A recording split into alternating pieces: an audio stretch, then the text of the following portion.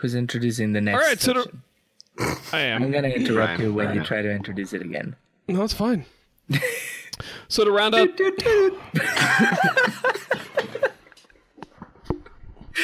Oh, ah, sorry. Talking about naked mole rats, I had to get that in there. Naked, mole mole. I'm done, Ryan. Go ahead, Ryan. I won't let you, I won't interrupt again either. From ScienceSortOf.com, you're listening to Science Sort of.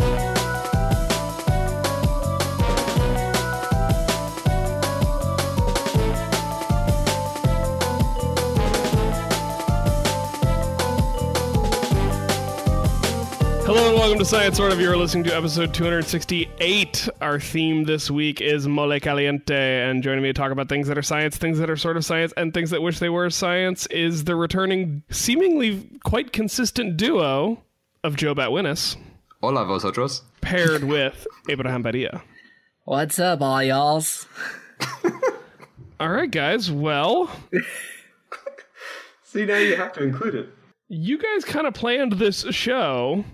So uh, let's do this boat story first, and I'll let you two take it away. Sounds All right. good. Uh, Joe, do you want to talk about? Why don't you just boats talk over each other for like 20 minutes? Yeah, let's do that. also, kind of this show, and in a, Nothing makes for a good podcast just like gonna keep talking over that's you. what we do. Oh my god. Sorry, Tim. Hey, uh, Joe, why don't you tell us about autonomous boats? Okay. So, uh, a team of scientists were looking to study some volcanic lakes, and apparently that's a challenge, which I'll let uh, Abe get into a little bit as to why. Did you forget his name there for a second? Um, you know, yeah, a little bit. I forget everybody's name I a mean, little bit. it it does say Abraham el Mexicano on there, so That's true. Yeah, it's only on your screen in front of you. No, it's not. I was looking at the article. Gosh. I was trying to see if I could find the scientist's name quickly. It's uh, you know, Laguna Laguna Poa can tell us about these lakes. oh man, strong work. um, so I think the post is by the project leads, so Donald McFarlane yes, it seems to be. and co co-workers. Yes. Okay, so anyway, they wanted to study uh, some volcanic lakes in Costa Rica, and these volcanic lakes have some problems being that they're super acidic and they're super hot, and so just wandering into them is a challenge, and wandering into them, even like a regular boat, is a challenge or just dangerous. So what they came up with is to use a they took some like UAV technology from the little quadrotor type deals, and they built themselves uh, a little autonomous boat to wander out into these into these volcanic lakes, so that they can map the lakes with sonar. And so I guess they're they're super acidic because of I guess sulfur content in the lake. I'll let perhaps Abe expand on that. Yeah, so so volcanic lakes are, are pretty widespread and they can be just absolutely incredible in terms of their varieties. Every volcano that has a crater lake is really cool, really different from each other, so there are no two alike. Uh, but there are some consistencies across them that make them kind of uh, pretty hazardous to work in.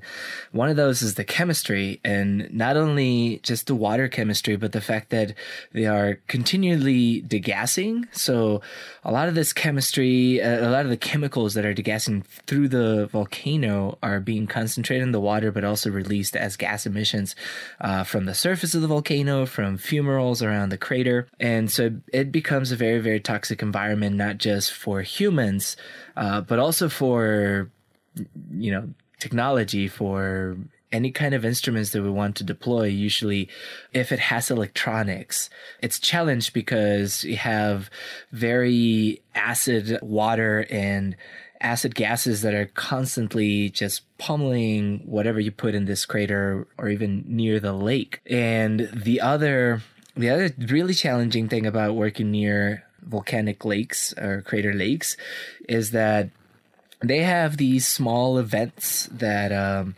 can really threaten the tools that you're using, but also your life. And so, small eruptions that are mainly steam driven can really cause a lot of damage.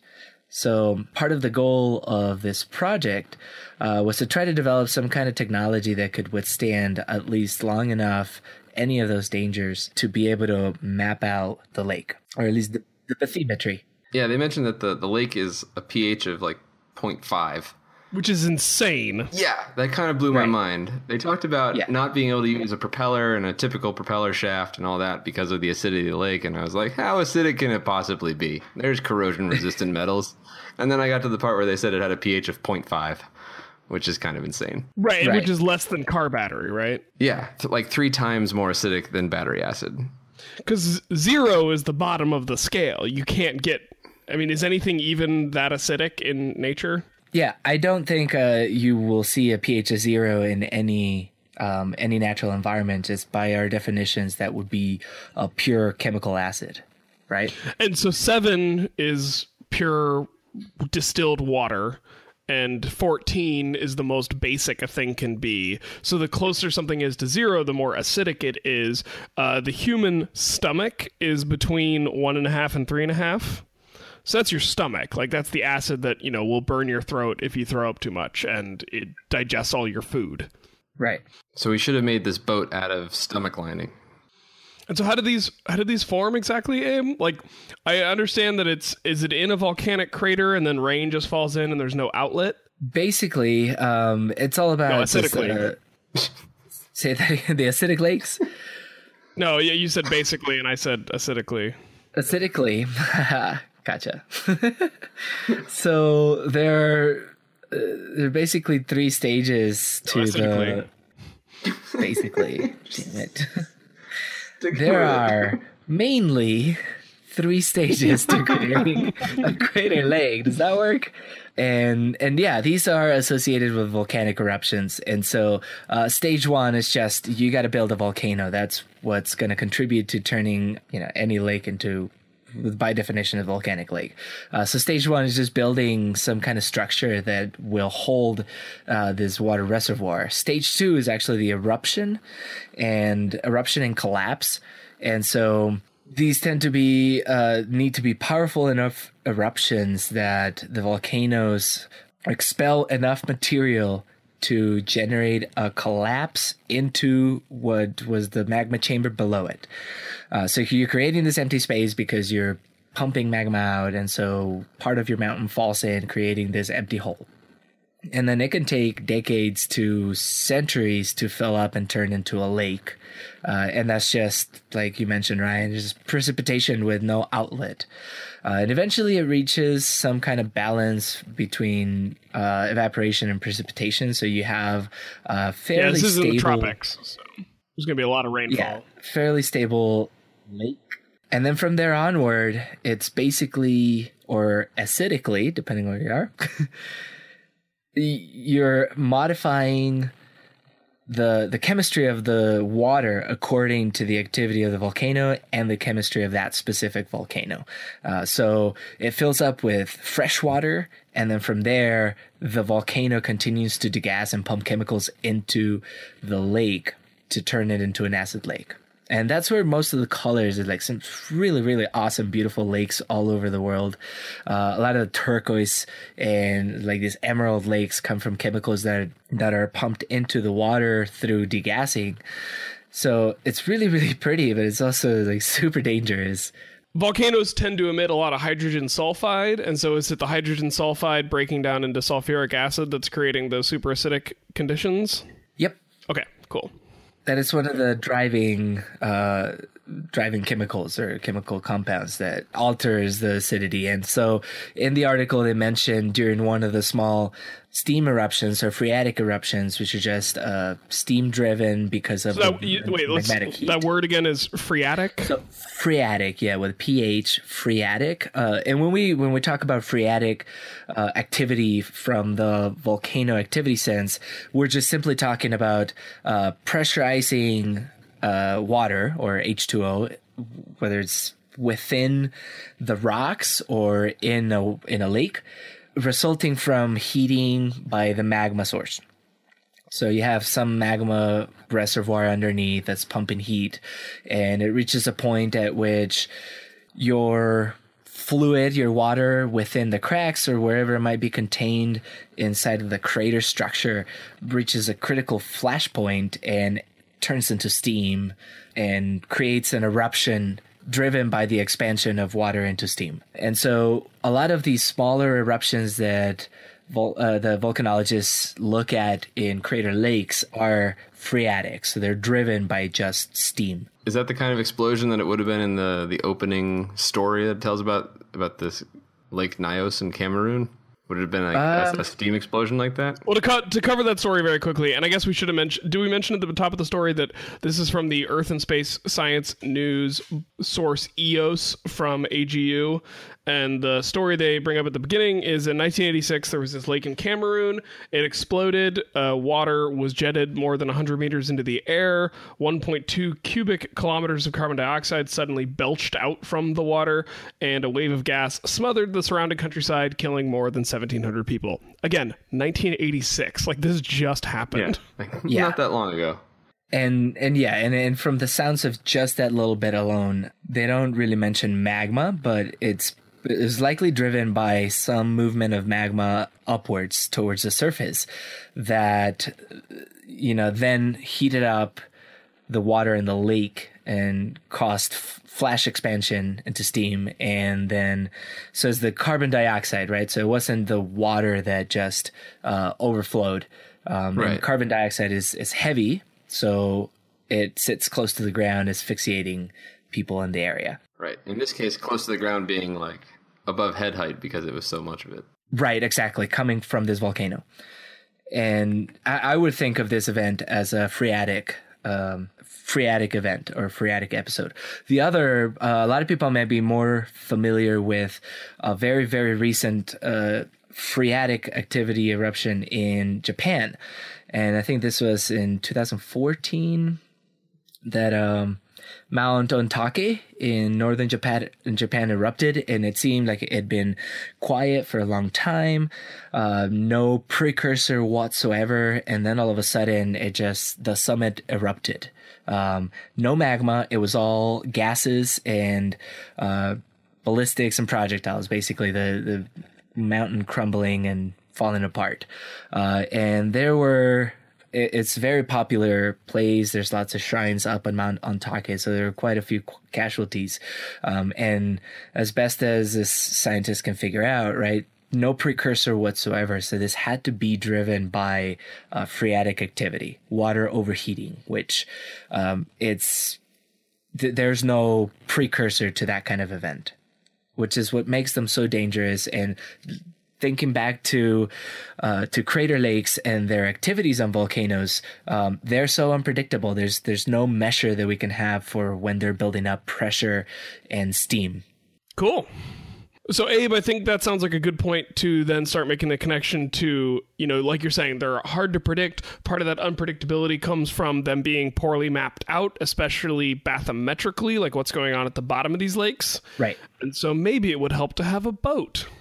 Right, a boat that can image the the bathymetry, the bottom of the lake. So let's talk about this boat, Joe. Yeah. What's this boat all about? Hey.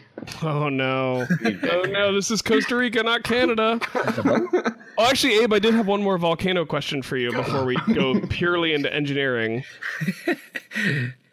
Lay it on me. First of all, this volcano is like only an hour north of the airport in Costa Rica. So if you want to fly down there and drive on up, we could do it. Okay, what are you doing this weekend? This weekend I'm actually busy, but next weekend Rats. maybe I could I could pull it off. Uh, raton, ratones. Uh, Ratas. oh no! I wanted to ask you real quick. If I know it's a complicated answer, so what is the simplest possible explanation for why this portion of Costa Rica has so many volcanoes? Um, yeah, that's actually um, Because I know Caribbean tectonics is a, a a literal mess. It is, yeah. So so there's this um when we think about plate tectonics on the Caribbean side, it's just kind of like a cluster of these ancient microcontinents that are basically getting destroyed. They're being subducted in some areas, they're being thrusted in area in other areas, and they're being uplifted in some. And it's happening at a much smaller scale than we tend to think about uh, in terms of like global plate tectonics. Uh, so that's the Caribbean side. On the other end, on the Pacific side, we have a slightly simpler tectonic environment playing out. We have a couple of very ancient plates, tectonic plates, that are being shoved under the Americas. And so one of those uh, is being shoved right under Mexico. And that's what drives the Trans Mexican Volcanic Belt, where all the volcanoes are lined up east to west there. And then on the on the Central American section, there is another very small ancient plate that was shoved uh, right under the what what we know as the you know the Central American. I don't know if you'd consider it an isthmus, but that entire length of Central America.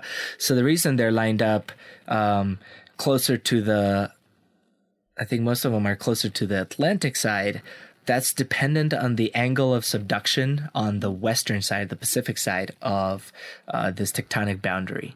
Um, so most of that is driven by subduction. Can you find or sketch out a little diagram of what you just uh, said to put on the show notes for this episode? Yeah, but I, yeah, I'll do a quick sketch that uh, that captures very simply just the whole dynamics of subduction. is particularly interesting there because um, you are you have these big uh, the Nazca and the Pacific plate that are basically shoving a smaller uh, called the Cocos plate, uh, shoving it right under the Americas, basically.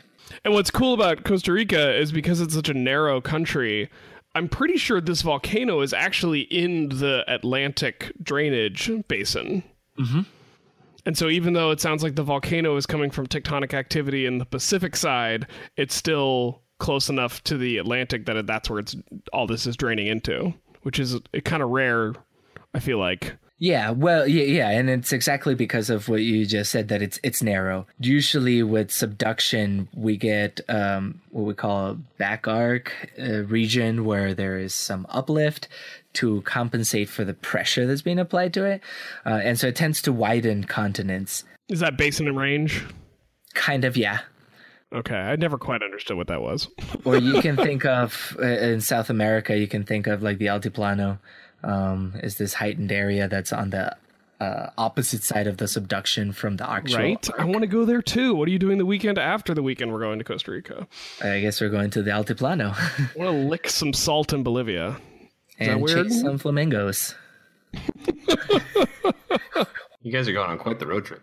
But yeah, so the, the what makes it unique in in Central America and the Caribbean is that you also have this super complex uh, tectonic battle happening on the Caribbean side, uh, where it's trying not to be subducted and it's trying to be pushed in the opposite direction that subduction is happening.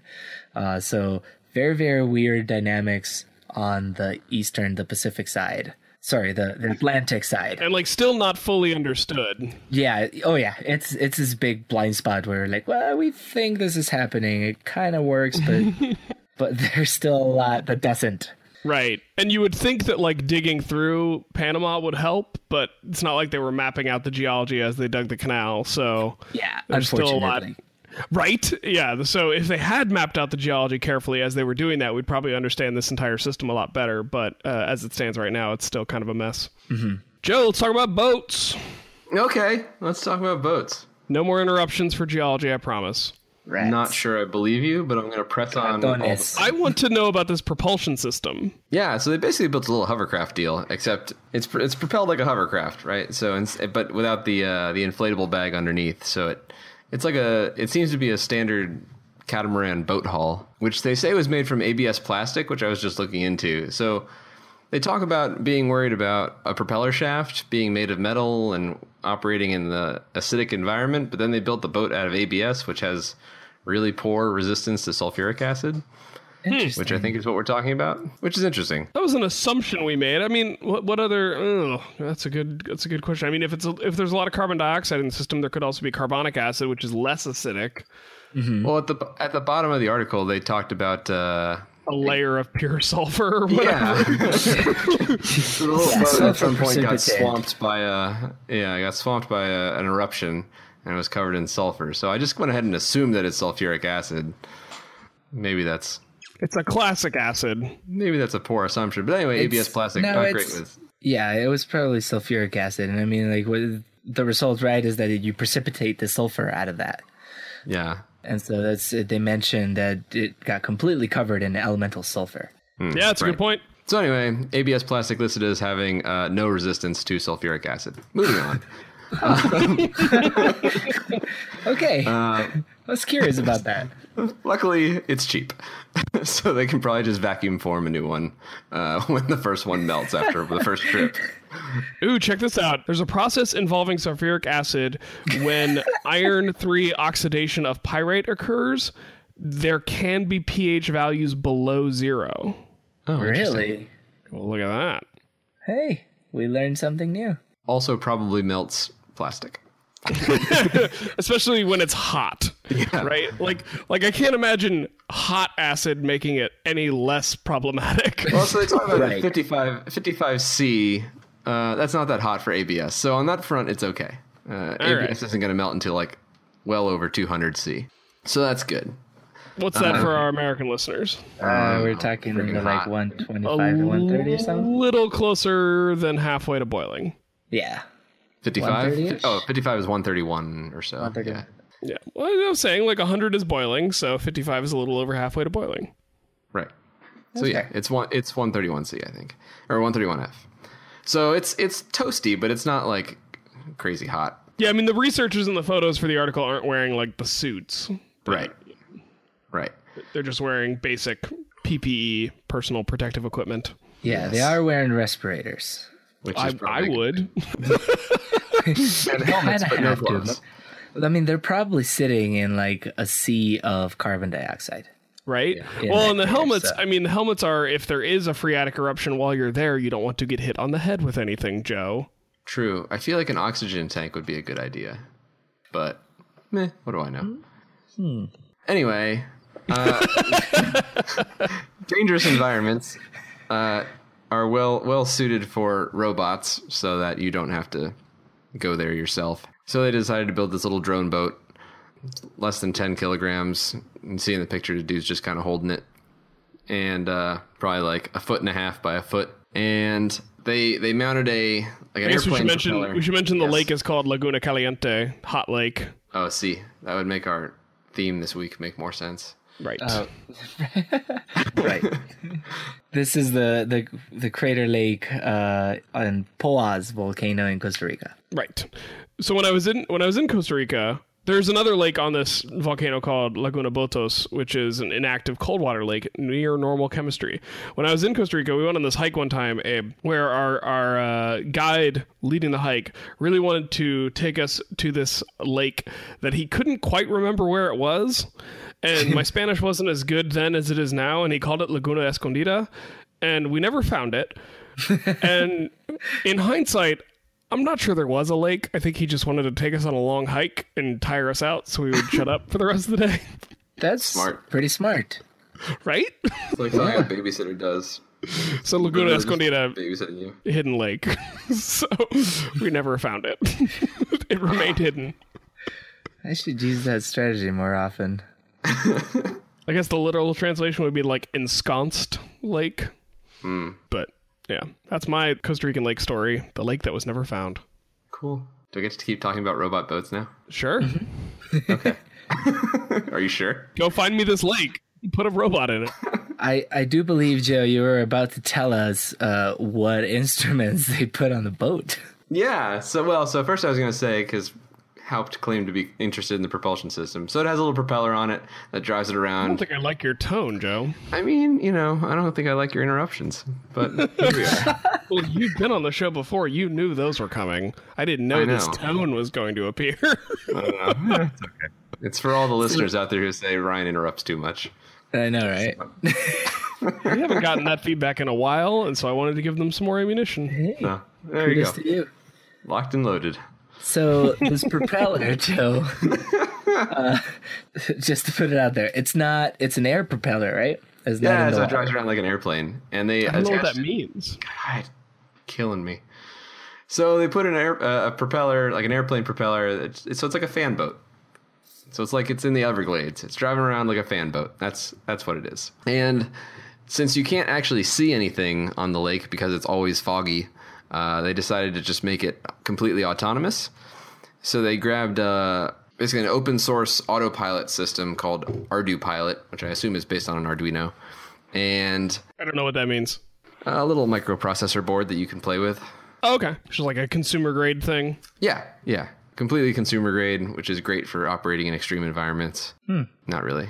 Uh, so, but it's pretty cool. So you can just buy one and you can use them for like RC airplanes or quadcopters or boats or RC cars or something. And you can get this open source mission planning software. So you can go in there and program waypoints with GPS.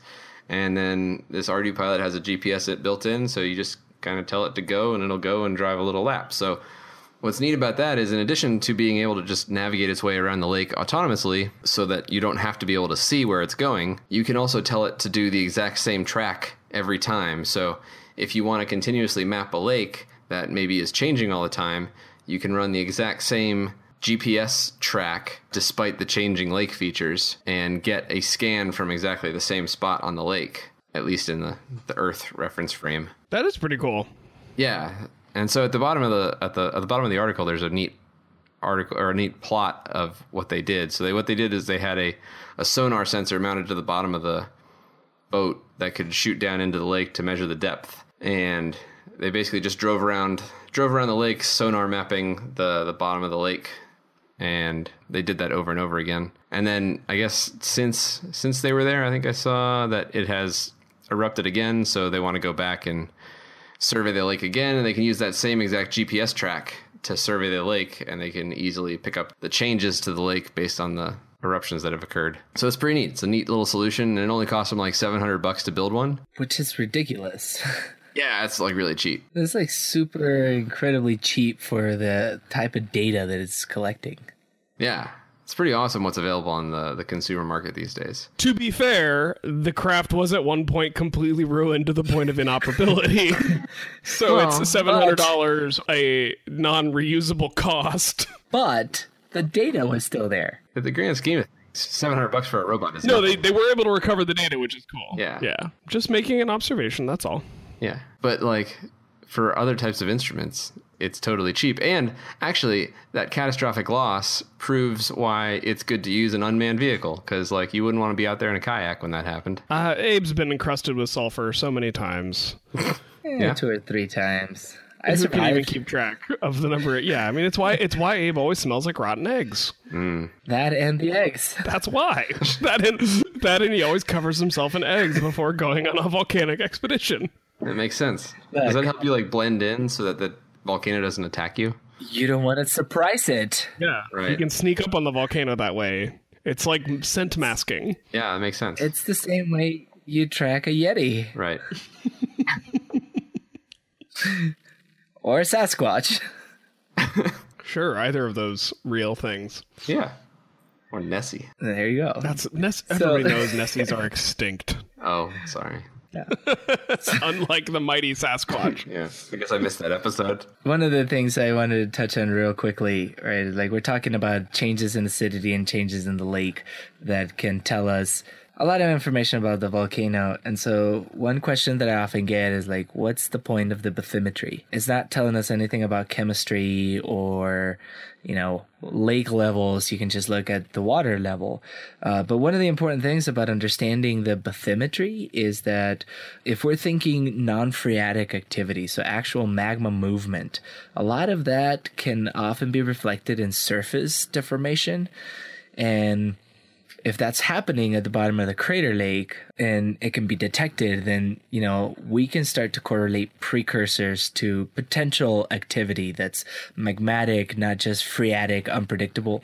Uh, and magmatic is still, magmatic activity is still very unpredictable, but at least, you know, it adds a tool into our toolbox that we can use to get better and better at predicting the activity of a volcano. So yeah, so it's pretty cool that we can use this autonomous, you know, keep yourself safe and sure you lose a seven hundred dollar little boat, but it's a seven hundred dollar little boat, easily replaceable. Yeah. And so, I mean, it took twice that much just to get me to my field site in Iceland when I was doing research there. Um, so it's And Abe's not even autonomous. exactly You have to pilot him remotely the entire time. via Wi-Fi. Robo Abe. Right. And if you lose the signal for even a moment, he might walk straight into a volcano. or two. That is poor contingency routing. I know. I don't know what that means. Hmm. It means it's the route that the robot goes on when it loses signal. Duh. Well, I don't know Come on, robots. Ryan. I'm not a You robotic. have, you have to plan for these. You've known have to plan Ben for these for like years. Yeah, I didn't program Ben though. He just appeared as if time travel from the future was possible. Hint, hint. Didn't you read the manual? No, it's written in a language that doesn't He exist did yet. not come with a manual. It's like future leet speak. It's impossible to decipher given our current technology. That's why he's such good friends with Ryan North, someone who has a master's in computational linguistics. yeah, you guys didn't think about that, did you? Not even once. No. Now, speaking of phreatic eruptions, how about some beverages with dissolved carbon dioxide that will precipitate and effervesce when opened? What are we drinking? Coming up next. Woo! And what, Joe? What? Say it to my face. It'll asphyxiate you when it opens. Only if you breathe that and only that. But I did. Uh, when I went to the Jack Daniels distillery, they let you like put your face right above the fermentation vats. Wow. and you get that painful experience of breathing carbon dioxide, which will be relevant to a story that's coming up after the next segment. But the next segment is what are we drinking? So let's talk about that next, and then we'll talk about the pain of breathing carbon dioxide. Ka-chow.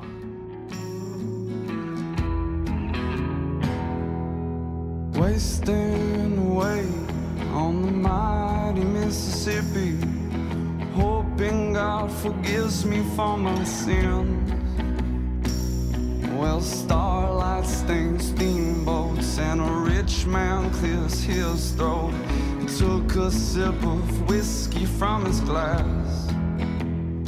The piano plays softly, and his daughter screamed, Get off me. His wife, she died a few years back. Well, he'll drink and drink for days, but the memories they stay, and the tears they flow like alcohol. It wouldn't be an episode of Science Sort of if we didn't also talk about what we are drinking. Joe, uh, I like to reward the people who put in the effort.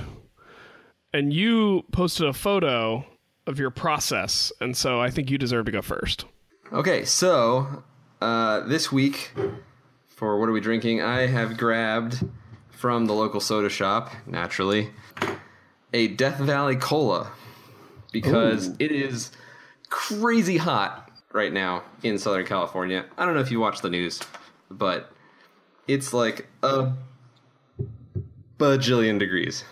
So yeah, so it's been like crazy bananas hot in Southern California. Right now, my air conditioning has been running since like 4:30 and it has given up on the afternoon temperature and has proceeded straight on to nighttime temperature to try and get it there and it's still struggling to catch up. Uh, it was like 115 on Monday. Yikes. So and out in Death Valley, I think it's been over 120. So I'm sipping on a Death Valley cola, and it tastes all right. Tastes pretty good. It's a Is it just your basic cola flavored cola? yeah. Okay, cool. Have you ever tried to like make your own? I have not Listeners, let us know if you'd like Joe to start making his own sody pop. my own sody pop. Am I gonna have to get like a my own uh Sounds like we need a poll. what is it the s- soda stream type deal, and then just add random ingredients? I have one of those, so you would have to get one of those, and then you'd have to like make a syrup to then add into the carbonated water. Yeah. So you could like play with different syrup recipes. I think this could be good for you, Joe. a new hobby. You could 3D print little Keurig cups for single shot soda experiences. Single shot Yeah. soda. Think of all the flavors you could play with. That's true. All right. I'm going to go next because my beverage might actually involve a phreatic eruption. Did you shake it yet? No, I don't want to shake it? it. I'm, I'm actually very scared of it. Um, it's across the table. I've got a towel. This is my uh, this is my tepache, Abe. Oh yeah. Awesome. So I talked I talked about it on last week's show because I was drinking a Grolsch beer, which is the beer that has the nice little cage on it, right? The resealable cage. So I was drinking the Grolsch to clear it out for my in-home fermentation project. I opened a bottle of it over the weekend, and it, you know, the Grolsch it has like the metal cage that's drilled into the glass. Uh huh. The first bottle I opened blew the entire contraption off of the bottle. Oh man. I think you let it ferment too long. Well, I let it ferment for a few days in the fermenter, and then I put it in the Grolsch bottles for a secondary fermentation. Now we're gonna try to open it on the show. Are you wearing safety glasses? I, I've covered the whole thing in a towel. Okay. Which is basically like safety glasses. Right. Yeah. Yeah, here goes. Arguably better. Okay, not too bad, not too bad. Had good Guys hear foley. the degassing? Good foley. Ooh, all right, all More good foley. This is not as I can't remember if this is the bottle I opened previously or not, so might have degassed a little bit already. Oh no, it's foaming up. Oh, in the glass. Okay. Good thing you have a towel.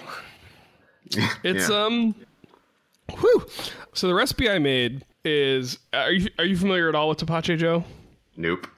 So Abe apparently has never had it either. It's a Mexican fermented pineapple drink uh, that I saw a video about online, and I was like, I can make that.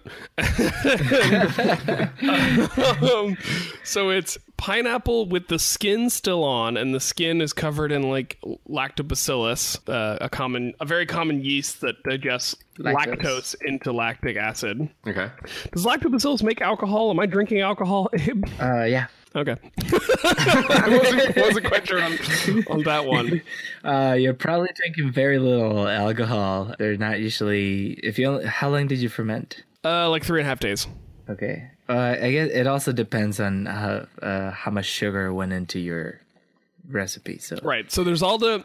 fermentable. So the recipe is the pineapple with the skin on, ginger, and a habanero to give it a little spice. What color? Uh, orange, habanero, and piloncillo, which is like a Mexican brown sugar. I guess is the best way to describe it, Abe. Yeah, it, it's raw brown sugar. Yeah, so it's got a little bit more molasses to mm-hmm. it. And then I just let it ferment for a couple of days in, in the fermenter, and then I drained it, and then I put the liquid into the Grolsch bottles for a secondary fermentation to let it get a little bit carbonated. And it's supposedly, you know, high in like probiotics and stuff, and I don't put much stock in that. I just thought it would be good for like cocktails, like throw a little rum in there. Sounds delicious. It tastes of pineapple, but because the lactobacillus eats up most of the sugar, it's not too sweet Right. it's pineapple-y, it's gingery, it's got a little bit of spice from the habanero, but it's not overly sweet. It's a little bit sour, it's a little bit tart, but it mostly just tastes like unsweet pineapple with kind of a effervescence. I'd kind of like to try that. Yeah. Me too. Yeah, I'll post a link to the uh, the recipe that I used and the uh, supplies. So I basically just used some some wide mouth mason jars with a little screw top fermentation lid, and that was it. So I'll post links to all that on the show notes if people want to try it. And uh, yeah, awesome. I'm surprised you never had this, Abe. Where is this from a different region in Mexico? Well, it's, yeah, yeah. It's it's. Um, I think it originated in the south. Is it the south or is it the desert? Um, Not where you're from. not where. Well, I'm Did they from say y'all there? central. Or Um, yins. Nobody says No. Vosotros in Mexico, Yeah. Joe. I didn't say vosotros. I said definitely yins. do not say vosotros. Um, so so I think it originated uh, closer to like Mexico City in the southwest of Mexico. It says it was a popular drink among the Nah- Nahua people. Nahua? Nahua people. Nahua. Nahua.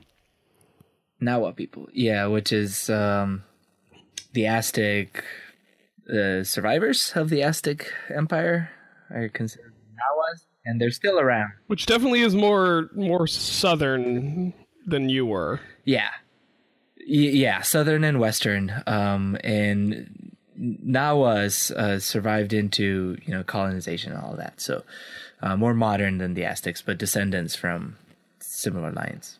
Are you gonna are you gonna learn Nahuatl now that I sent you the app? Now what? Yeah, are you gonna learn it? Uh, I tried once. It's pretty hard. It's not an easy language to pick up for.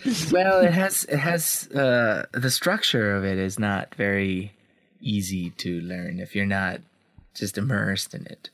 All right, so Kickstarters. And I, and I tried learning a bunch of phrases and trying to learn some sort of uh, conversational, at least Nahuatl, and it's just. And this was after I left Mexico, so it complicates things even more. because you're not around any native speakers. Right. All right, well, we're going to start a Kickstarter to send you to El Salvador. We're- Where I will apparently learn Mexican native language.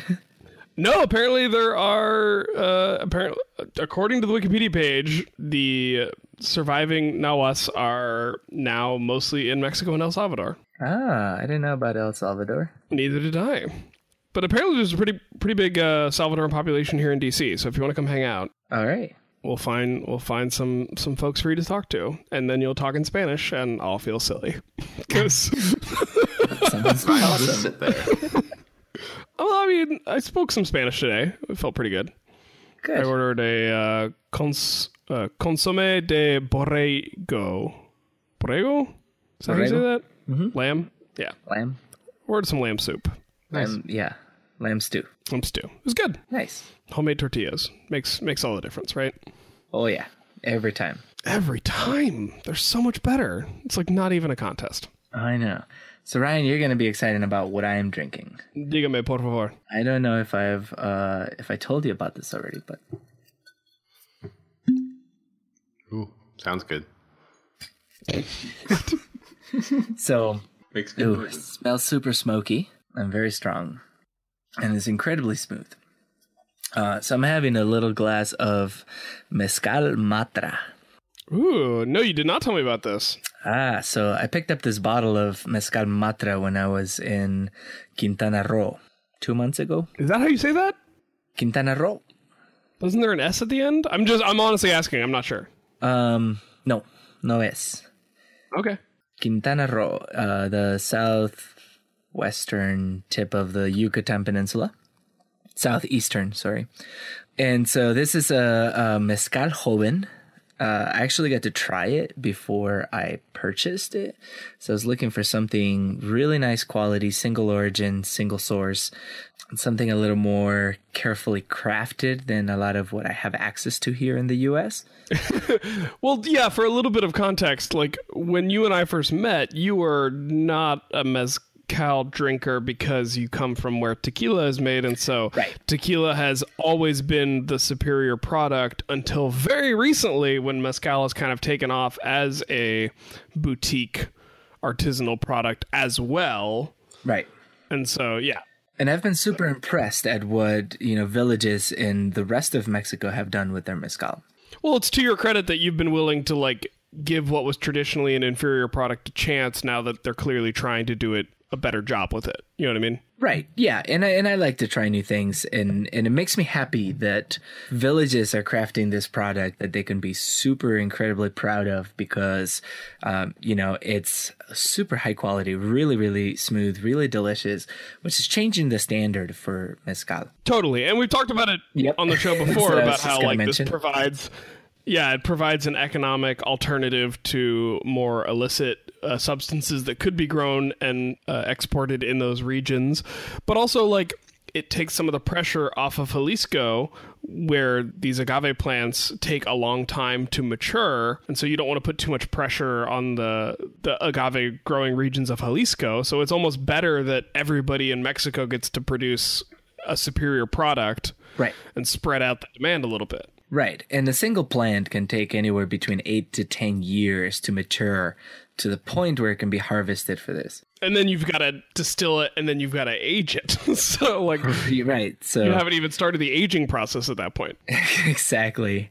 Uh, so I was pretty excited when I found this. I was actually, um, Bev and I were walking down, we were in Tulum. We were walking down the main street of Tulum, and there was this Tulum's an old Mayan city, right? Mayan city, yeah. Uh, so there's some, the ruins of Tulum are pretty famous. They're right, they're the only ones we know of that are built right on the coast, atop a cliff. Really, really pretty. And so we were staying um, not in the hotel zone out on the beach, but we were actually staying in the center of Tulum, the you know the the town, which was awesome because I could go and get some genuine meals that are you know cooked traditionally by Mexican families.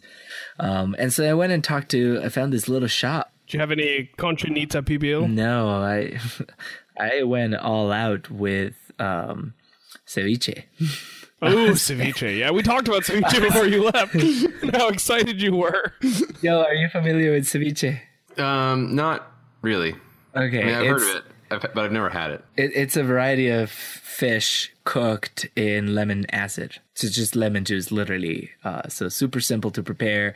You chop up a bunch of your fish, you season it with lemon juice, and it's ready to go. You let it sit 10, 15 minutes, and it cooks in the acid of the lemon. Okay. Herbs and onions like cilantro and onions and and I've Chili had peppers. yeah, I've had some with jalapenos in them, and yeah, it's it's just super fresh, super bright, acidic, fishy, but in a good way. Oh, it's the best. And it's a very popular Mexican, well, Latin dish. And so was one of the things I was most excited about that trip was that I could go and eat ceviche every day. And I'm pretty sure I had it for every meal that I could order it. I, I had it. You probably got so many parasites now, Uh, probably. Yeah. which is not like a slight on the Mexican uh, preparation. It's just from what I've heard, ceviche is like the most parasite-rich dish, where the because the acid cooks the food, but it doesn't necessarily kill the parasites. Right. so, Right. But, the I good mean- thing is that I'm killing those parasites with this mezcal matra. or the I, I mean, I always say the good thing is you'll probably lose some weight until you pass the tapeworm. right. There you go. It's, a, it's an effective weight loss plan. Yeah. Yeah. So I was pretty excited when I picked up this bottle. It was fairly pricey, but it was worth, you know, the effort of trying to f- track something down that was super, super high quality. And Right.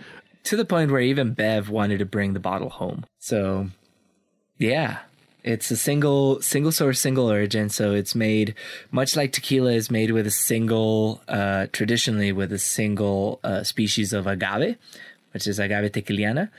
Uh, this one is made with agave espadin, uh, which is very common in the southeastern region of Mexico, Oaxaca, predominantly.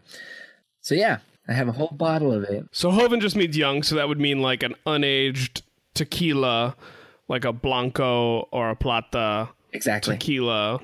So it might have spent no or a few days in a barrel before being bottled and and sold.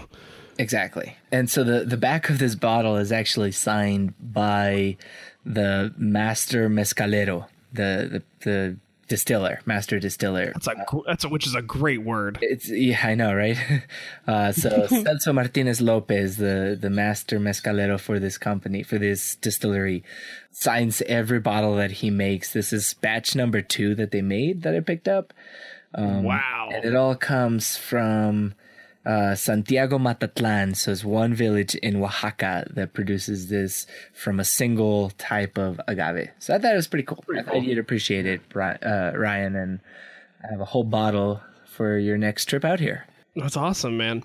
I will tell, we should point out to people, because we talk about tequila, and we talk about mezcal, and we talk about other Mexican spirits a lot. Make sure whenever you're buying a Mexican spirit, don't buy, like, the whole point of it being single origin, not just in terms of the village it's from, which is really cool, but in terms of the plant that it's from. Yeah. If it doesn't say single origin from a plant, it's probably got a lot of crap in it, like sugar and corn syrup and stuff you don't want. Yeah. So be very careful.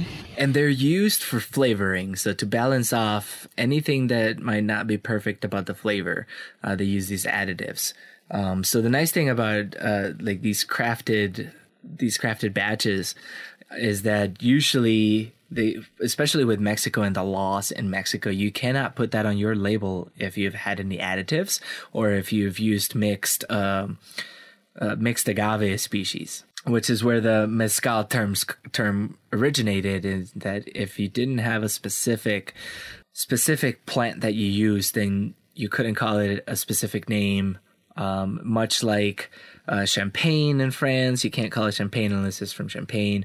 It was traditionally in tequila. You couldn't call it tequila unless it was made with uh, agave tequiliense in the region of Tequila and Jalisco. So so the laws are there to protect. But now that mezcal is so popular, it's a little less clear for the gringos, and so it's important to look and make sure that it is like a single origin product. And if it says mixtos on it anywhere, that's a bad sign, and don't buy it.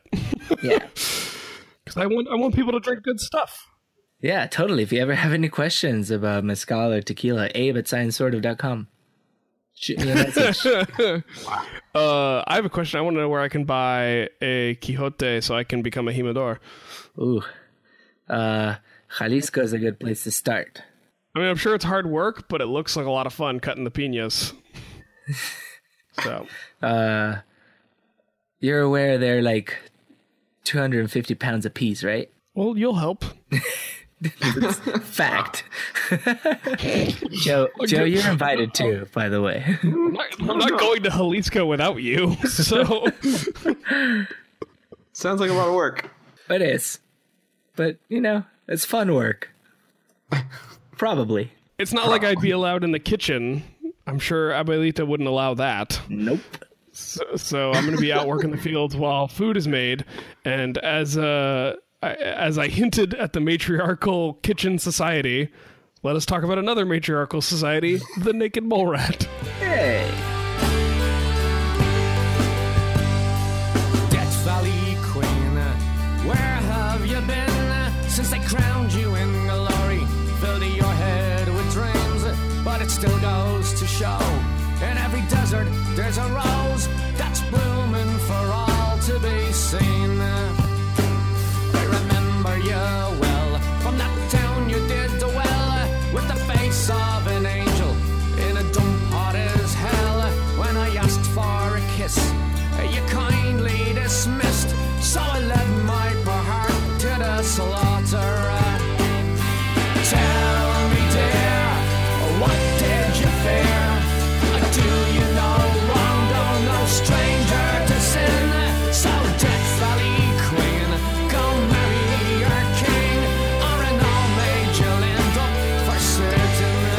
So to round out today's show, uh, Abe suggested that we feature a story about the mascot, La Mascota, of our podcast, the Naked Mole Rat.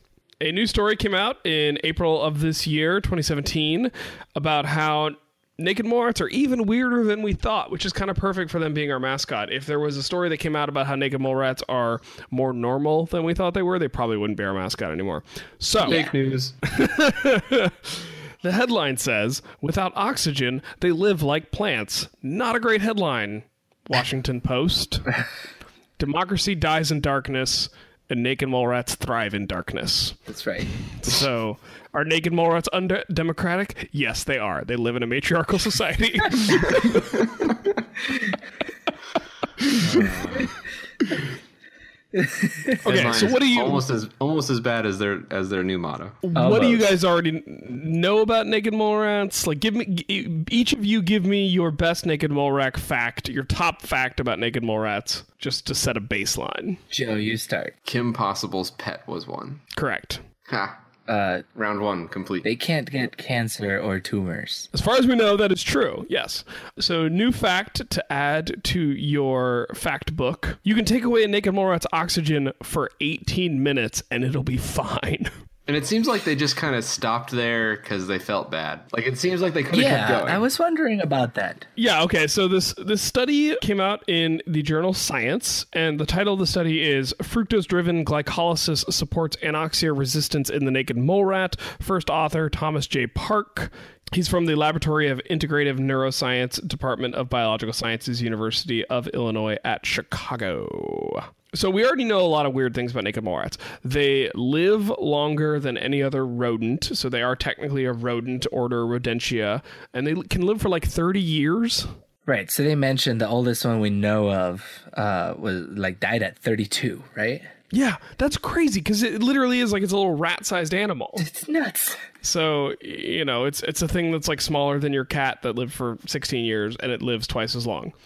They live in East Africa. They live underground, and they build they dig tunnels they hunt for tubers they have a single female in their colony that is the queen she's the only female that mates so that's where this whole matriarchal society comes from And the offspring of the queen don't reproduce, right? Yeah. What's weird is we've covered on this show before that male naked mole rats have very bad sperm. Their sperm has incredibly low motility. It might be because of the extreme inbreeding that happens when you only have one breeding queen type person, but they're essentially, as far as we know, the only you social eu being EU social mammal, which means that they operate more like bees or ants in terms of many members of the colony forego reproduction in order to keep the population down because they live in such a resource deprived environment, resource deprived both in terms of calories and in terms of oxygen, which is kind of what this story is about. Also, as mammals, they don't seem to be bothered by chili peppers, Abe. Oh, right. That was the other thing. Capsaicin does not affect them. Doesn't se- well, it doesn't seem to cause them pain that they respond to. So they're just like me. So that's not that weird, I guess.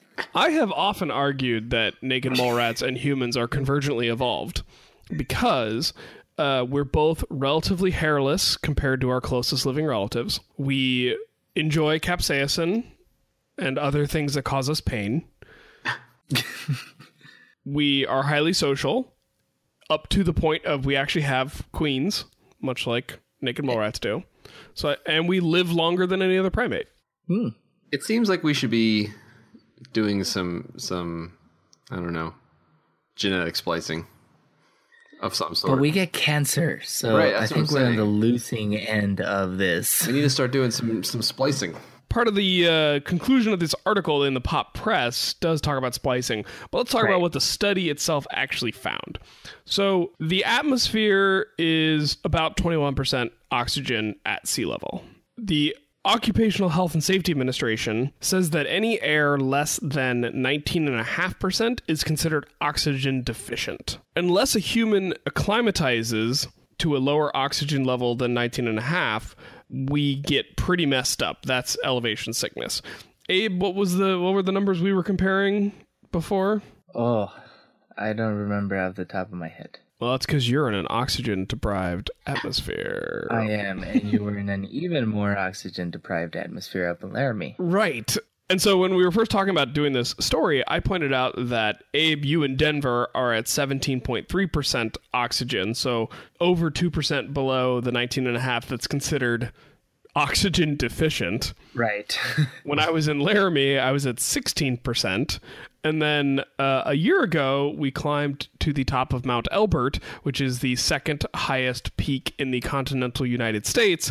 And the summit of that peak is 12.3%. Humans stop functioning at around 10%. So we got pretty close, Abe, to not functioning anymore. uh, I mean, I remember the summit. no, we were not in good shape. Yeah, you get real dumb when you uh, get low on oxygen. We also Yeah. Drank some beer at the top. That's why there's uh, oxygen masks on airplanes, and it's more importantly, it's why they tell you to put on your own oxygen mask first, right, and then help people because it doesn't help you if you start trying to help somebody next to you, and then you get dumb, and their mask doesn't get on, and your mask doesn't get on, and then you both pass out. I don't remember being that mentally impaired when we were climbing Abe, but I do remember, you know, we were taking like 10 steps at a time and then we'd stop to catch our breath. Right. Yeah. Near near the And summit. take another 10 steps. it, it it It was slow going. it was super slow. Uh, that last little push to the summit, and yeah, I remember even just like every third or fourth step, like counting the three and taking that pause, and be like, man, I can't breathe. Yeah, it was super not fun. That's how I felt at the top of Pikes Peak, which is fourteen thousand feet. Which is up there as well. Yeah. Yeah. Yeah, Pikes Peak's a 14er. Mount Elbert is slightly higher than Pikes Peak. Not by much, but but it is more because we win.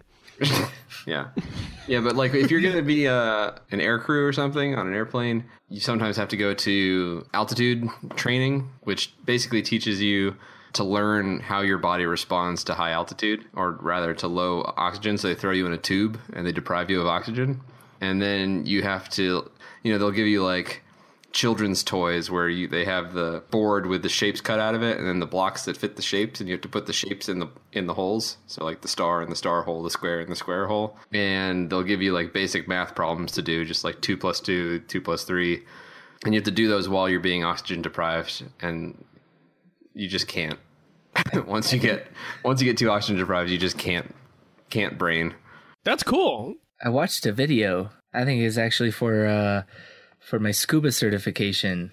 I watched a video of somebody doing that, mm-hmm. where they were purposely deprived of oxygen just to illustrate the effect. Right, and at certain levels of scuba certification, I haven't personally done this, but you'll get taken down to a depth where you start experiencing oxygen toxicity with a, a dive buddy who can handle it just so you can feel what it feels like. Same thing joe's saying just so you can feel oh this is what it feels like when i'm developing oxygen toxicity. So when if it ever happens to you recreationally you know like oh this i'm not just having a good time. Right. I'm probably experiencing a toxic symptom and i need to deal with it. Yeah. now let's talk about the mole rats.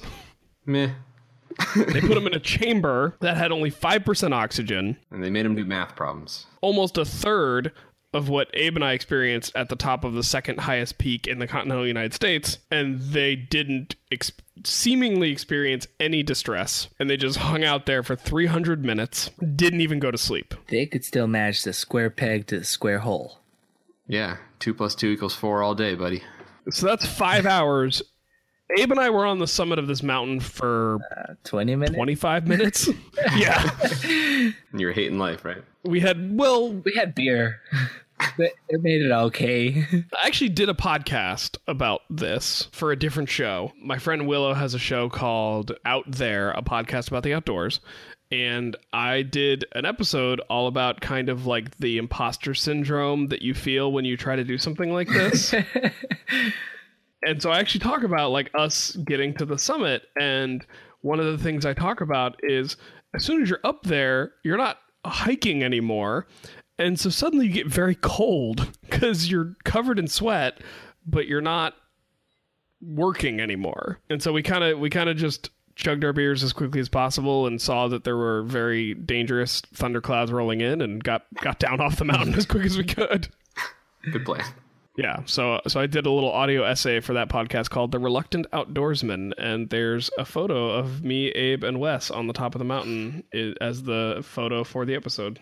and we're drinking beer. And I didn't ask Abe to, for permission to use the photo. I just did it. So naked mole rats don't even care. They'd probably be cold just because they don't have hair. But when they were hanging out for five hours with 5% oxygen and like not even falling asleep or doing anything that showed any sign of distress, the researchers are like, all right, well, let's just cut them off completely and took them down to 0% oxygen. And the mole rats just kind of froze and went into what they called a state of suspended animation. Their heart rate went from 200 beats per minute, which sounds super fast, but they're they're tiny little rodents, and so heart rates tend to go up as body size goes down. If people didn't know that, uh, so like elephants and gorillas have slower heart rates than us, and things that are smaller than us, you know, cats, dogs, rats have much higher heart rates. Squirrels, think like think like a squirrel. Imagine what a squirrel's heart rate should be, and that kind of preps you for for rodent heart rates, right? And so these mole rats at zero percent oxygen went from 200 beats per minute to about 50. And then they used some, I assume they used a mass spec to figure out that these naked mole rats were actually metabolizing fructose instead of glucose. And that's where this whole plant versus animal things come from. So most animals use glucose, which is a sugar that animal systems are built to metabolize, whereas a lot of plants are built to utilize fructose, which is also a sugar. So chemically, anything that ends in ose, O S E, is probably a sugar. So like deoxyribose of the the D part of DNA mm-hmm. is a sugar. Deoxyribose nucleic acid, glucose, fructose, dextrose, Dextrose, maltose, maltose. lac- lactose, galactose, my favorite. Oh, it's such a good sugar. Is that actually a Sounds like No, yeah, galactose. Is it? Yes, it is. Shut your mouth, Abe. I don't believe you. He's looking We're it up. all I am looking looking at It's a type. it's a type of milk sugar. What? Yeah, I found it too, Ryan. Weird. Well, I knew about it already, and you didn't believe me. So, It's a monosaccharide. Huh. Okay. so yeah, those are all sugars. And because of the, the way evolution works, you know, mammalian metabolic respiration inside of our cells tends to use glucose and in plants because they're using you know carbon dioxide instead of oxygen and they have a different metabolic pathway through the chlorophyll instead of the mitochondria. They tend to use fructose.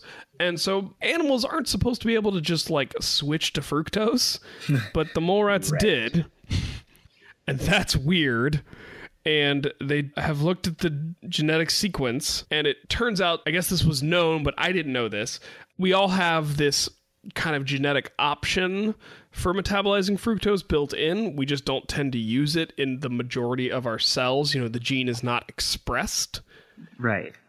And in naked mole rats it somehow is. We still don't know where the fructose is coming from which is a mystery. So maybe they have like some secret fructose storage organ that we don't know about.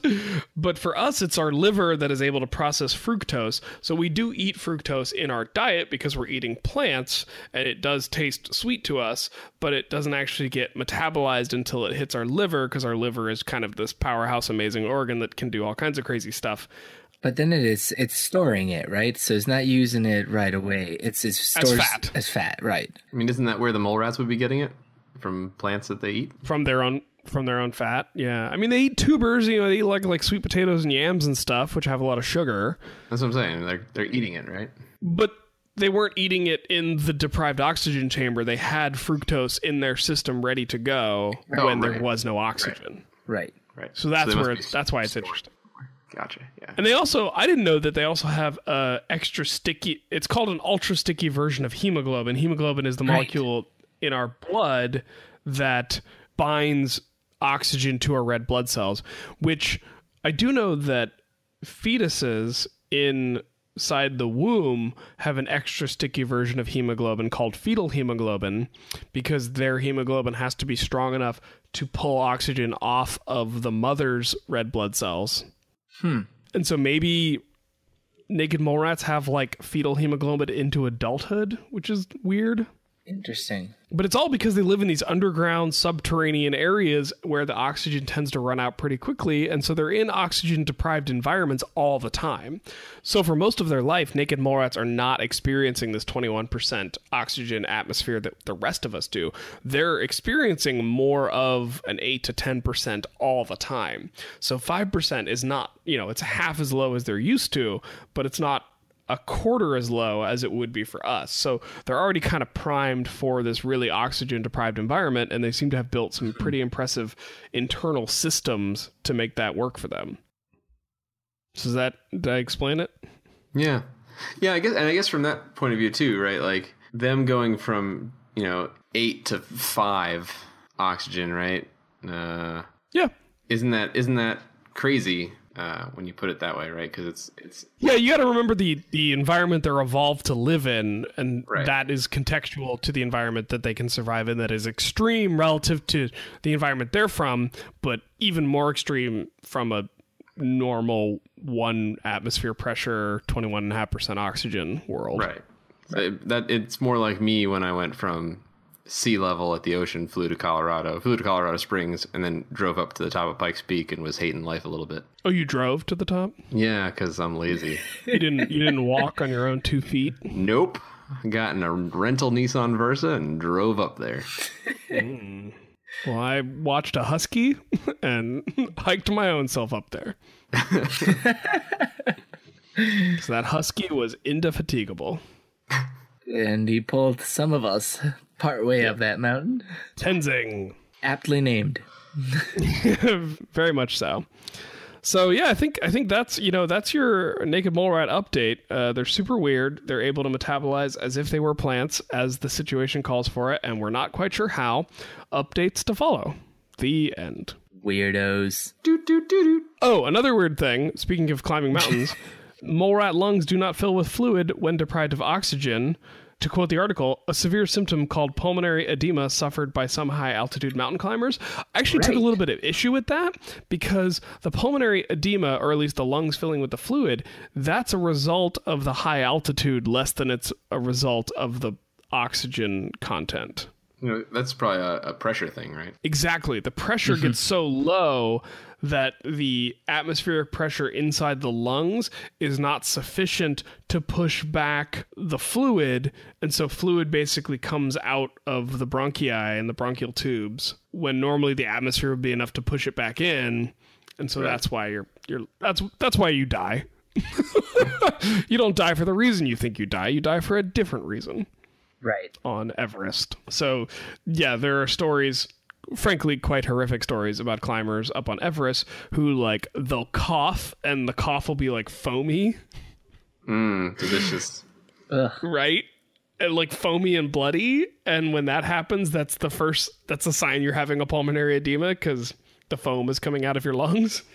and then you die. Well, they're they you know, we're we're humans, we're pretty clever. Engineering types have developed a solution where, you know, Joe, you can simulate a higher pressure environment, right? If you were to be put in some sort of sealed compartment and then had air pumped in to increase the pressure in that sealed compartment. Indeed.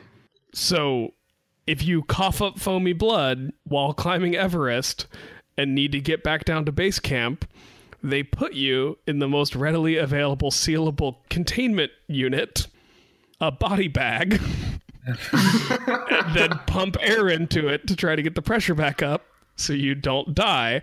But Lovely. to me, it's like, oh, you coughed up some foamy blood. Irony. Climb, go Into ahead and climb body in the body bag. bag. Just go and get ahead and get in now, so we don't have to put you in there later. Yeah. like it's Oh man. like it is a legitimate medical treatment to to pump up Right. the air inside the body bag, but it is Sure. a body bag. so, man. At least they're ready if it doesn't work. well, Yeah. Yeah. I guess so. speaking of body bags, our listeners, Wow.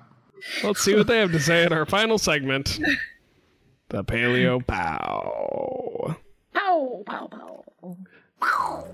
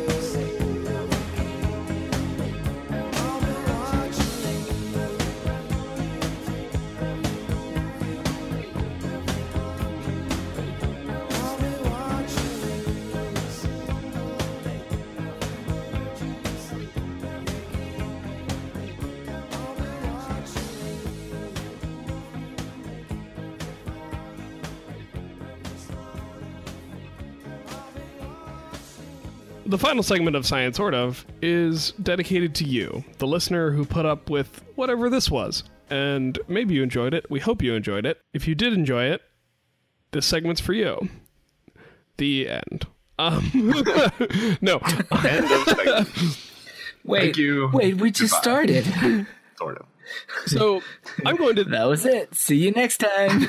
I'm going to start the segment by thanking a recurring donor, Tom S. Tom S. did not sign up for the Patreon. Uh, this is Tom S. from Apex, North Carolina, the peak of good living. Which is just, I think, the best town slogan I've ever heard. That's pretty good. Tom's called into the show before, so I don't I don't feel bad uh, revealing where he's from, especially since it's the peak of good living. And he's been a recurring donor for a while, not on the Patreon. And so I just want to clarify for people listening we are no longer accepting new recurring donations through PayPal.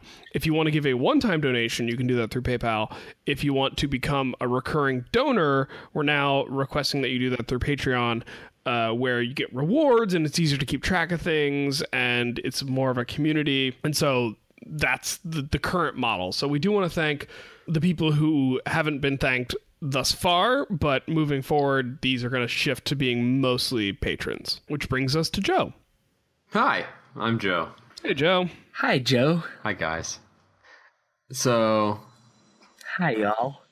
okay, so my patron uh, is Gretchen L, and she is a donor on our, our Patreon page. She's a gravity pusher, which is pretty cool. And so, as one of her rewards, we are going to make up a thesis title uh, specifically for Gretchen. Right. And what we've been doing is just using the topics from the show to come up with a thesis title. So something like galactose me- metabolic pathways in naked mole rats exposed to acidic volcanic lakes. Something like that. Uh, Poás volcano. Wow. Does it have to be that specific? Yeah, You just pulled that right out of there. it's a it's a thesis title, Ryan. That's a good point. I mean, do you guys like that, or do we? How do we feel about that? Use, uh, let's see, how about implement? No, we can't do Poás. I think we need a bigger we need a bigger word. Well, we can't do Poás because there are no naked mole rats in Central America. Eh? We got to do something in Africa. How about, how about, Extinct ma- naked mole No, rats that- in That's Central not how America. ex- extinction doesn't just mean they're suddenly in a different place than you want them to be. how, what about the American camel? how about the implementation of I mean, first of all, unmanned Joe, subterranean? Abe's right. Like What? we do have to acknowledge there were American camels. It's just it doesn't actually prove Abe's point. But but I'm Is right. it relevant at all? nope. okay. Oh man, that's totally the title of Abe's autobiography. Is this relevant at all by No, no, no. Abe? correct, correct, but irrelevant. The Abraham Padilla story. Oh no. correct but off topic. the life and times of Abraham Padilla. So while I like making it very specific to the volcano we were talking about earlier, we can't do that because there weren't naked mole rats in Central America. Hmm. So what's a good like East African volcano? Oh, okay. Uh Ol Doinyo Lengai. I don't know how you're gonna have to tell me how to spell that in the Slack because I don't I don't want to know right now. But let's say okay, so galactose galactose metabolic pathways in the naked mole rat in the oxygen deprived acidic environment of the volcano. Abe, Abe said. Is that a good thesis? I feel like we need robots in there somehow.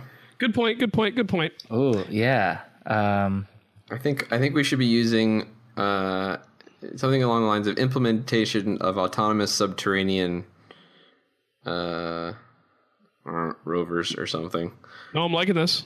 to study yeah. the galactose. Ooh, what about what about sonar? In what, if, what, if, what if there was an autonomous vehicle to map sonar the subterranean pathways? Mm. Can you get? Can you give us something there, Joe? I mean, you pretty much just said it. I think I think the lead-in I used, but just mapping subterranean pathways of subterranean mm, colonies of Right. the naked mole rat.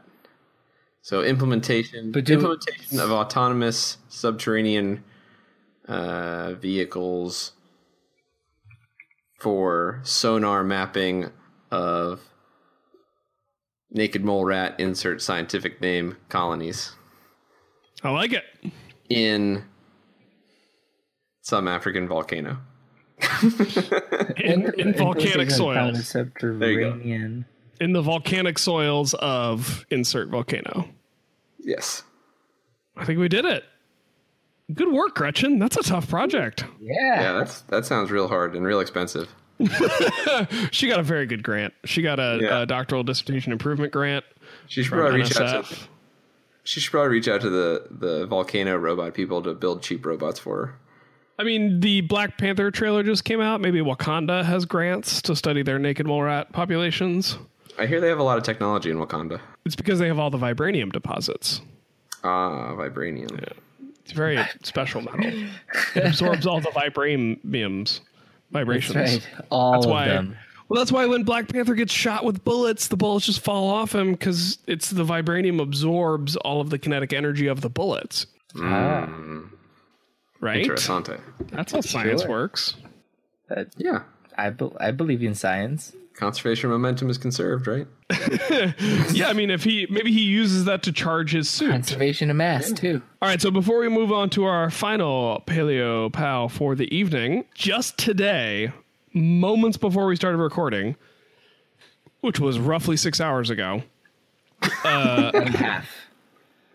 we crossed our second patron goal. Woohoo! Hey! So, for those who weren't following along at home, uh, our first Patreon goal was to reach a point where we could pay a transcriber to transcribe one episode per month.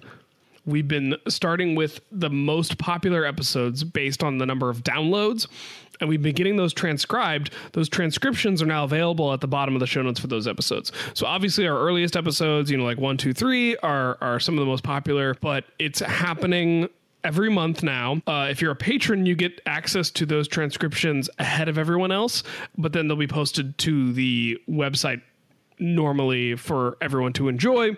One of the reasons the transcriptions are so great is that it allows people who maybe have hearing impairments and can't listen to the show as easily to still absorb the content of the show. It also helps Google and the bots that Google sends out to scour the internet basically find every word we say on the show. So it's going to increase our search rankings. So it's really good for us to have that out there. And we thank the patrons for letting us do that.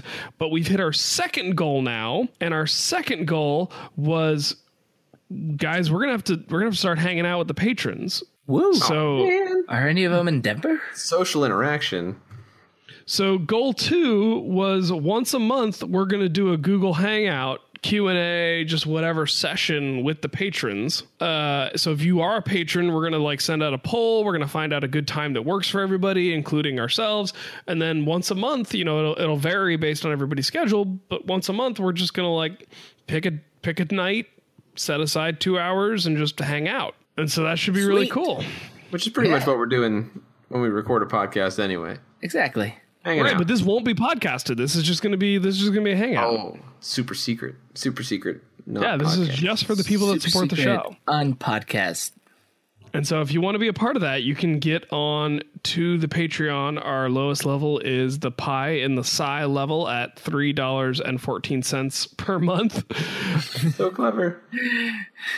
And once you sign up at that level, you get you get all the rewards at the level, plus you get included in the Patreon uh, hangouts. And uh, the best reward at that level is just that I send you the topics for the show before the shows are released, so you can read up ahead of time. So that's pretty cool, Awesome. I think. Yeah. You know what I think is pretty cool? Our patrons. Yeah, We have some pretty awesome patrons. I'm pretty stoked on it.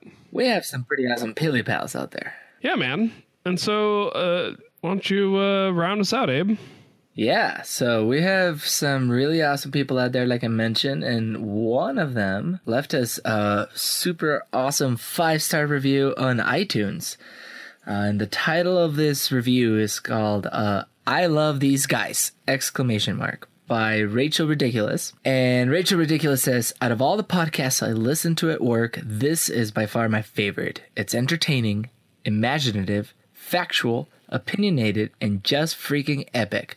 Please continue this. Rachel Ridiculous, thank you for your five star review. Reviews like this are what encourage us to definitely continue this. We love doing this. We love it even more when we know that you guys are also enjoying it. So thank you so much for the review. It really helps the show uh, keep going forward. Definitely. And it helps people find it. 'Cause Yeah. It, it makes it us more searchable in iTunes. It's all about searchability. This is the the search engine optimization paleo pow. That's, that's right. Yeah, so people can find us. We uh, we get more listeners, um, and yeah, we we get to reach out to more people. So thank you for leaving the review. Thank you for our donors and everybody that supports the show. Yeah. Excellent. Well, uh, what do you guys got going on? You got anything to to plug or talk about? How did uh, Baja SAE go, Joe? Uh, it went really well. Yeah. So all three races this year I went to, and of course I organized the California race, and they all went really, really well. Saw some some pretty cool cars. Uh, a couple teams started tried experimenting with some some neat stuff, designing their own computer shifted transmissions, which were pretty cool. Nice. Um, yeah, so some neat some neat technology that the teams are starting to to come up with. So it was, it was really cool to see all that. Uh, the Kansas race was a little exciting because there was a bit of a tornado that rolled through, but uh, or- Bit of a tornado. Just well, it, slightly. it was it uh, it didn't get to the event site, but it was there was a, apparently there was a tornado nearby. Tornadito. Uh, we had to evacuate the event site for a bit, That's unfortunately. what, Abe, that's what Zora's horse was called when it was just a just a little baby. um, and then Illinois went really well too. It was at the uh, the Caterpillar demonstration center, so they had all the the heavy Caterpillar equipment on site, which is awesome. So like all the big mining equipment, it was sweet. Did you get to drive any of it? Uh, I got to drive a remote controlled Bobcat, except not Bobcat. It was a Caterpillar, but it was a little skid steer.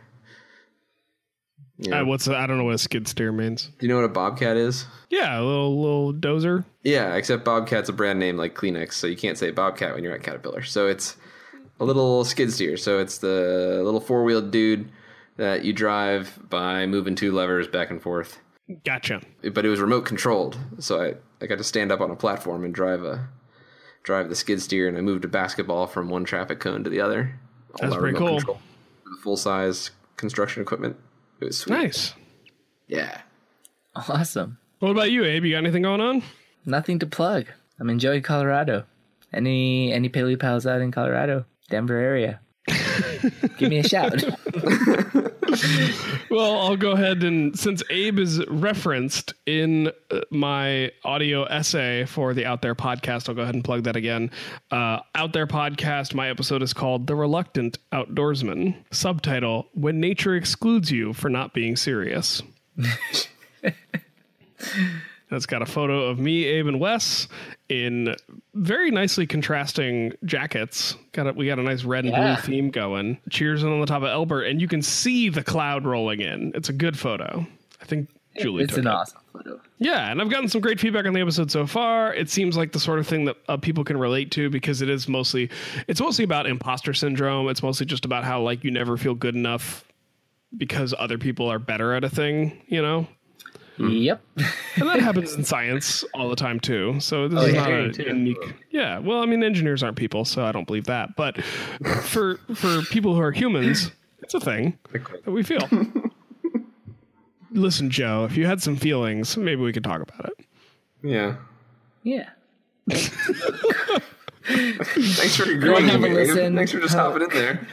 Am I am I giving you im- imposter syndrome about about Being on this show. podcasting? A little- Podcasting? Yeah, a little bit. A little bit. It's like, what am I doing here? I'm not even a human. Abe, I think we just made I think we just made Joe a Joe. human. Now, Joe, you're definitely part of this podcast. You are the sort of end member. Thanks, Abe. You're welcome. Yeah. I'm not sure that helps. Yeah, no, I don't know that definitely a part of is that comforting a statement. You're Like, definitely, you're the, definitely- the sort of um, on this Definitely science sort of train. sort of. In this thousand piece puzzle, you're one of them. Everybody's unique. Wait. But if You're- everyone's unique, then Joe. no one is. You're one of those Yeah, critical. see you guys next week. One of those critical Sort of. pieces that are all white. Right, right. Wow, this just took a dark turn, a racial turn. Little, little, Brown, yeah, the brown little- guy just called Joe a a little gringo, racy. gringo blanco. Uh, People say I'm too harsh on Abe, but now you hear his true, his true color emerges, and it's all about color. You, you call me brown again?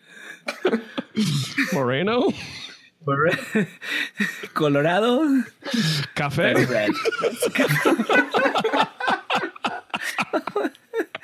Red. How do you get away with these things, Ryan? From one cafecito to a cafe. With the Blanco Joe. Café con leche. Oh boy. All right. Well, for the people still listening, we're sorry. And we'll see you next time for a whole lot more science.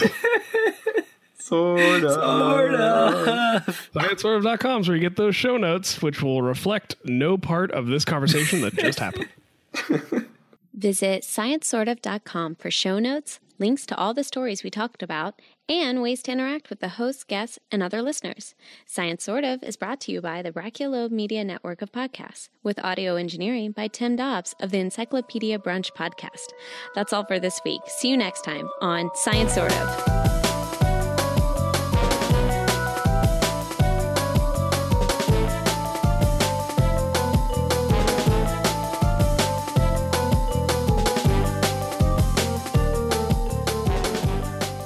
I do deserve to go first. The problem, however, is that my drink is still in the fridge. I believe you were pre briefed on this. I have to go get it. I'll be here. Do do do do do do